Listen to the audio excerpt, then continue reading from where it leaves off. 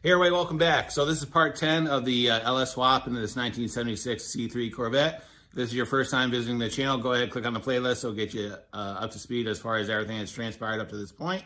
Uh, in the last video, we actually uh, uh, placed the engine in the car, got it, made it up to the trans, and it's basically mounted as its trans and sitting on the mounts and everything else.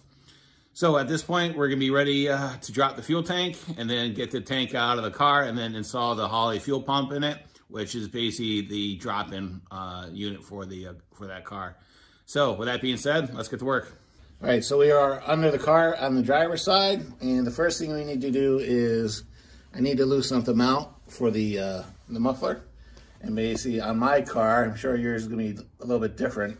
Uh, there's two muffler hangers on uh, either side, and they clamp into the uh, bumper support.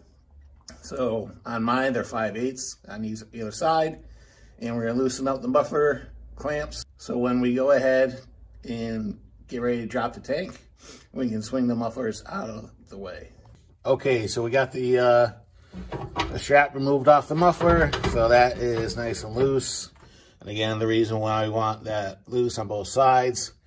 So when we go ahead and remove the cross member, and then we go to drop the tank off, we can pull the mufflers to the side and then the tank will actually drop between the mufflers, right?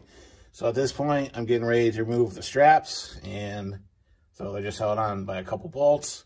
So go ahead and remove those. So we have to remove the cross member, which runs along the front of the tank. And the cross member is held on by two bolts that go into the, uh, the frame. And what you want to do is so what you want to do is stick a 9 16 wrench through the hole in the frame and then just put a socket on those nuts and then just go ahead and remove them. All right, so we're in the process of we're rolling the tank forward and we want to get to this point where it's going to give you access to the, uh, the vent lines and the fuel lines on both sides. There's a supply and a return on the left and then there's a vent on the right. So go ahead disconnect those and then you're also going to disconnect the uh, the wiring to the uh, fuel sender. That's one's a ground, I believe, and the other one is for the uh, fuel level indicator. So go ahead and remove those, and then once we have those off, we'll be able to move the muffler out of the way and drop the tank down from the left to the right. All right, so the tank's out. We have it up on a set of saw horses. And honestly, uh, it's not that bad of a job. Um, I've actually had this tank out before to replace the uh, the fuel lines. When I first got the car, they were rotted out and they were leaking. So I have had this uh, tank out before, so pretty much know what the process is. And honestly, it goes a lot easier if you have two sets of hands, mainly to uh, pull the mufflers apart while you're below there trying to uh, uh, drop the tank down. So, but anyway, we got the uh, the tank here. Uh, so what we're gonna do is we're gonna pull out the existing uh, sending unit and inspect the tank. and go from there and see how uh, the tank looks inside. Uh, for the most part, the tank is pretty clean. I think the tank was actually replaced at some point before I bought the car because, um, you know, the condition of it actually looks pretty good. Okay, so the sending unit is just held on by a bunch of 7 16 bolts. So we're gonna go ahead and remove those. This tank, for the most part, is already uh, empty. I drained it before we took it out of the car.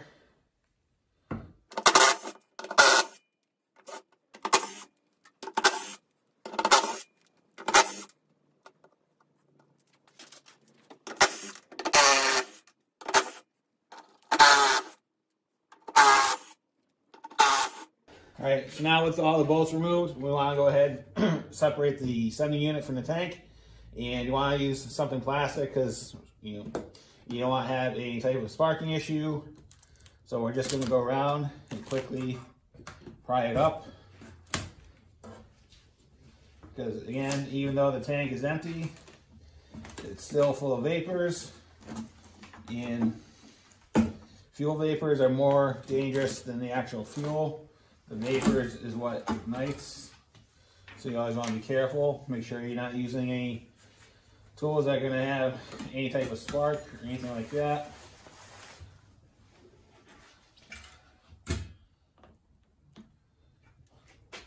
So there's the old sending unit. With these tanks, uh, they're actually, they're lined with a bladder. And depending on how good of a condition the tank is, sometimes the bladder will actually uh, pull away from the tank. So I've been looking at it and for the most part, there are a couple ripples in it, but on the bottom and the sides, uh, the, the bladder is still pretty much attached to the tank. So I'm not gonna bother taking it out. But what we're gonna do is, um, with the kit from Holley, they actually supply you with a new gasket, right? So what I'm gonna do is I'm just gonna cut the, uh, the upper part of this gasket out and then we'll put the new gasket in from Holley. And then we're also gonna clean up the tank because there's a bunch of debris in there that it's gonna cut, it's gotta come out anyway. So we'll take the opportunity to clean it out now while we have it open. All right, so we're at the point where the tank is pretty much clean for the most part. So we went around with uh, some sandpaper and cleaned up that sealing edge. And then we it with Scotch-Brite. And then once we did that, then we went ahead and cleaned the inside of the tank. And all we did was, uh, I just took a paintbrush and some paper towels and dried up a lot of the residue that was in the tank and basically kind of swept it in towards the center. And then we just grabbed some, uh, some painter's tape and just basically picked up the debris with the tape. And as you can tell, there was a lot of shit in there over 45 years or however long this tank has been there. So took the opportunity to clean it out now. And uh, so yeah, it's looking pretty good. Still a little bit of uh, debris in there. We'll go after that one last time. But for the most part, the tank, I'm pretty happy with it and uh, ready to start putting the, uh, the pump in. Okay, so as far as the fuel pump we're using, we're using the Holley retrofit drop-in fuel pump for the 76 Corvette. This particular part number happens to be 12-312. So this fuel sending unit is pretty much everything that you need. It's got the pump that's already regulated at uh, 58 PSI, and it's at 255 liters per hour. It also comes with Hydramat, so that's gonna uh, resolve any starvation issues in the tank. That's actually not just a sock, it's actually Hydramat.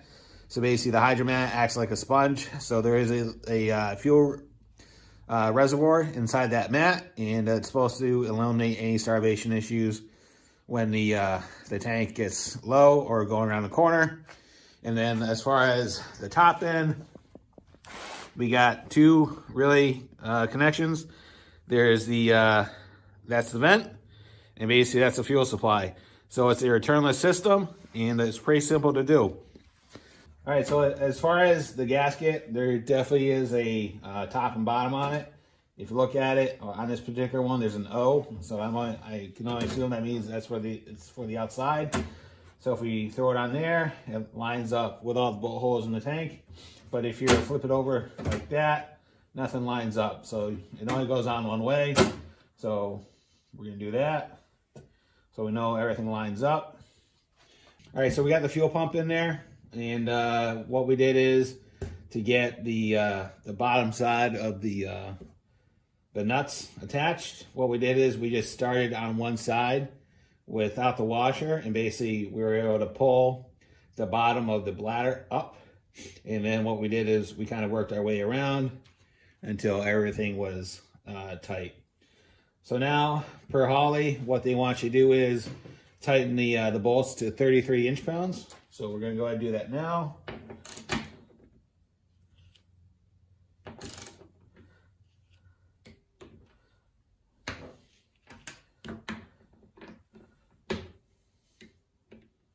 Click.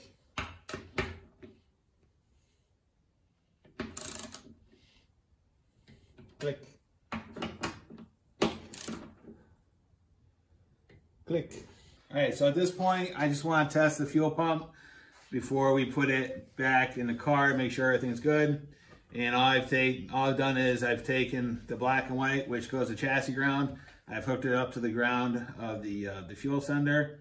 And then I've taken a black wire, just put a, uh, a uh, little connector on it. And that's going to battery ground. And then this is going to 12 volts applied. And all I'm going to do is just touch it to the, uh, the battery just to hear the pump. And that's all I want to hear. We know the pump's good. All right, so the installation of that pump is pretty straightforward. The hardest thing is getting the, the tank out of the car. And depending on your car, you may have a good time, may have a bad time. It's part of the working on a project car, right?